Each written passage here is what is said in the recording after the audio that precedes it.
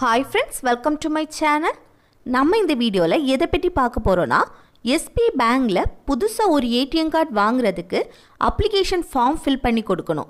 அந்த அப்ளிகேஷன் ஃபார்மை எப்படி ஃபில் பண்ணுறதுன்னு தான் நம்ம இந்த வீடியோவில் பார்க்க போகிறோம் ஃப்ரெண்ட்ஸ் ஃபஸ்ட் டைம் நம்ம சேனலை பார்க்குறீங்கன்னா சப்ஸ்கிரைப் பண்ணுங்கள் இந்த வீடியோ உங்களுக்கு பிடிச்சிருந்துன்னா லைக் பண்ணுங்கள் ஓகே இனி வீடியோக்குள்ளே போகலாம். இந்த ஃபார்மில் இதை ஃபஸ்ட்டு பாருங்கள் important instructions please fill the entire form in capital letters only இந்த ஃபார்ம் ஃபுல்லாகவே கேபிட்டல் லெட்டர்ஸில் தான் ஃபில் பண்ணணும். அப்புறம் கம்ப்ளீட் ஆல் செக்ஷன் அப்படின்னா இந்த ஃபார்மில் எல்லா செக்ஷனையும் நம்ம ஃபில் பண்ணணுமா? Next do not write outside the provided boxes அப்படின்னா ஃபில் பண்ண கொடுத்துருக்க இந்த பாக்ஸை தாண்டி எழுதக்கூடாது. பாக்ஸ்குள்ளே வரும்படி தான் எழுதணும்னு சொல்லியிருக்காங்க. நெக்ஸ்ட் என்னென்னா joint account to be either or survivor இல்லைன்னா any one or survivor joint அக்கௌண்ட்டில் ரெண்டு பேர் இருக்காங்கன்னா அதில் ஒருத்தங்களோட டீட்டெயில்ஸை தான் இதில் என்டர் பண்ணணும். நெக்ஸ்ட்டு சைன் த டிக்ளரேஷன் அப்படின்னா லாஸ்ட்டில் சைன் போட சொல்லியிருப்பாங்க. அதில் உங்கள் சைனை போட்டுக்கோங்க. Next joint account holders to fill separate application forms joint account வச்சுருக்கவங்க ஏடிஎம் கார்டுக்கு அப்ளை பண்ணிங்கன்னா ஒரே ஃபார்மில் ஃபில் பண்ணக்கூடாது. தனித்தனி ஃபார்ம் வாங்கி தான் ஃபில் பண்ணி கொடுக்கணும். நெக்ஸ்ட் என்னென்னா எக்ஸாம்பிளுக்கு இந்த பாக்ஸில் ஒரு நேம் கொடுத்துருக்காங்க பாருங்கள் இதே போல் உங்கள் நேமை கேபிட்டல் லெட்டர்ஸில் தான் எழுதணும். அப்புறம் உங்களுக்கு ரெண்டு நேம் இருந்துச்சுன்னா ஃபர்ஸ்ட் நேம் எழுதிட்டு ஒரு பாக்ஸ் கேப் விட்டுட்டு செகண்ட் நேமை எழுதிக்கோங்க. இப்போ உங்களுக்கு ஒரு நேம் இருந்துச்சுன்னா அந்த நேமை எழுதிட்டு அதுக்கப்புறம் ஒரு பாக்ஸ் கேப் விட்டுட்டு உங்கள் இனிஷியல் எழுதிக்கோங்க. நெக்ஸ்ட்டு நேம் இதில் உங்கள் நேமை என்டர் பண்ணிக்கோங்க. அப்புறம் நீங்கள் மெயிலா ஃபீமெயிலாக அதை டிக் பண்ணிக்கோங்க. நெக்ஸ்ட்டு அட்ரஸ் ஃபார் கரஸ்பாண்டன்ஸ் இதில் வந்து உங்கள் ஏடிஎம் கார்டு எந்த அட்ரஸுக்கு டெலிவரி ஆகணுமோ அந்த அட்ரஸை இதில் என்டர் பண்ணுங்கள் ஃபஸ்ட்டு உங்கள் வீட்டு நம்பரை எழுதிக்கோங்க. அப்புறம் ஒரு பாக்ஸ் கேப் விட்டுட்டு உங்கள் வீட்டுக்கு நேம் இருந்துச்சுன்னா அந்த நேமை இதில் என்டர் பண்ணுங்கள் இதே போல் ஒவ்வொன்றும் ஒரு பாக்ஸ் கேப் விட்டுட்டு தான் எழுதணும். அப்புறம் ரோட் நேம் ஸ்ட்ரீட் நேம் எழுதிக்கோங்க. Next town or city name கேட்டிருக்காங்க.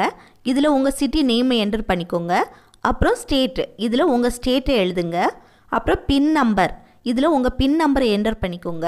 நெக்ஸ்ட்டு டெலிஃபோன் உங்களுக்கு லேண்ட்லைன் ஃபோன் இருந்துச்சுன்னா அதை இதில் என்டர் பண்ணுங்கள் நெக்ஸ்ட் இதில் உங்கள் மொபைல் நம்பரை என்டர் பண்ணுங்கள் அப்புறம் இமெயில் இதில் உங்களுக்கு மெயில் ஐடி இருந்தால் அதை இதில் என்டர் பண்ணுங்கள் நெக்ஸ்ட்டு ஃபேக்ஸ் அப்படின்னா ஃபோன் நம்பர் இமெயில் போல் ஃபேக்ஸ் நம்பர்னு ஒன்று உண்டு.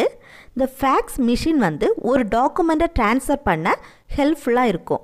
இதில் ஃபைல்ஸ் எல்லாம் சென்ட் பண்ணுவாங்க. இது சென்ட் பண்ணுறதுக்கு ஃபேக்ஸ் நம்பர்னு ஒன்று உண்டு.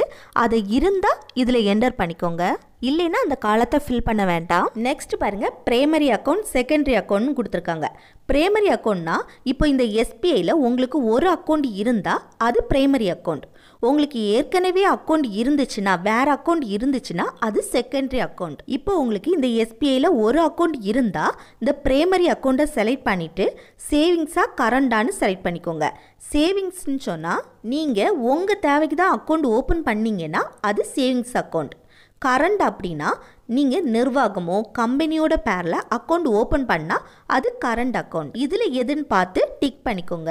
இப்போ நீங்கள் செகண்டரி அக்கௌண்ட்டை செலக்ட் பண்ணிங்கன்னா இதில் சேவிங்ஸ் அக்கௌண்ட்டா கரண்ட் அக்கௌண்ட்டான்னு பார்த்து அந்த பாக்ஸில் டிக் பண்ணிக்கோங்க. நெக்ஸ்ட்டு பிரான்ச் இதில் உங்கள் பேங்கோட பிரான்ச் நேமை எழுதுங்க. நெக்ஸ்ட்டு சேவிங்ஸ் அக்கௌண்ட் நம்பர் நீங்கள் சேவிங்ஸ் அக்கௌண்ட் ஓப்பன் பண்ணீங்கன்னா இந்த சேவிங்ஸ் அக்கௌண்ட் நம்பரை இதில் என்டர் பண்ணிக்கோங்க. இப்போ இந்த பாக்ஸில் கரண்ட்டை டிக் பண்ணிங்கன்னா இதில் கரண்ட் அக்கௌண்ட் நம்பரை என்டர் பண்ணிக்கோங்க.